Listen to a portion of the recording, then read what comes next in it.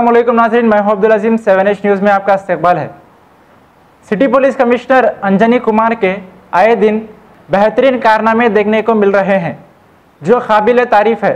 हाल ही में कमिश्नर ने एक सब इंस्पेक्टर को सिविल केसेस में इन्वॉल्व होने की वजह से सस्पेंड कर दिया था और एक कांस्टेबल को शराब पीकर गड़बड़ करने पर उसे भी सस्पेंड किया गया। कमिश्नर पुलिस के ऐसे इकदाम से आवाम को हुकूमत और पुलिस से एतमाद हासिल हुआ।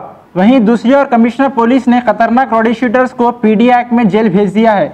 अब दूसरे रोडी शूटर्स को भी हो जाना चाहिए होशियार या फिर पीडी एक्ट में जाने के लिए हो जाइए तैयार। कमिश्नर ऑफ़ पुलिस के ये बहुत अच्छे इकदाम है। Seven H news commissioner police Anjani Kumar को करता है सैल्यूट।